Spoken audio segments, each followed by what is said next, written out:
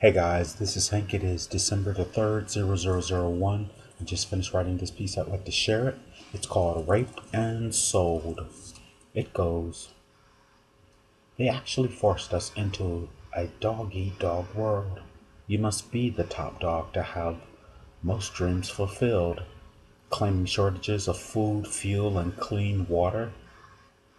They claim too many humans, so they insidiously slaughter babies, small children, the young, the adults, and the old, considered bottom feeders, so they're raped and sold.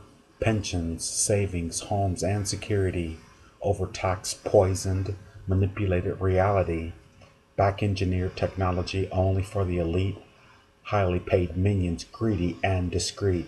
They sell their soul in service to self. They hoard and murder to maintain their wealth. There is more than enough food for everyone to live in peace, harmony, enjoy, and have fun. Service to others is rising, is a rising intention as love and light ushers in the process of ascension. All right, guys, thank you very much for listening. I do appreciate it. Love and light. Namaste.